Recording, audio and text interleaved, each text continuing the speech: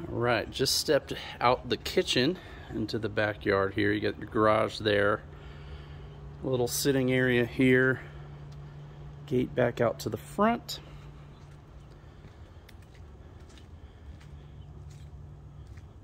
Kind of a very cool backyard.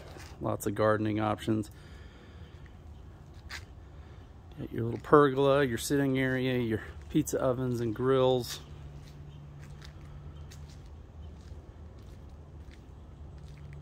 Kind of some more landscaping back there.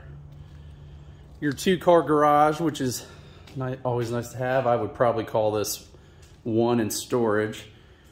But from the looks of it, I don't think you'd have any trouble parking out on the street ever.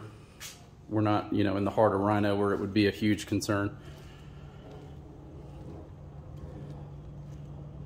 Chicken coops if you need them. More group garden beds. And this is the cool tiny house. So if you ever did an ADU, you would most likely do it back here off the alley. Kind of just replacing either the garage or the tiny home. Alright, so coming in here, these are always pretty good use of space. I don't get the feeling they're ever really moving this right now. But obviously a cool little area, especially when the weather's cooler. Another office. Just a, room to escape. He sh she shed or he shed, whatever you want.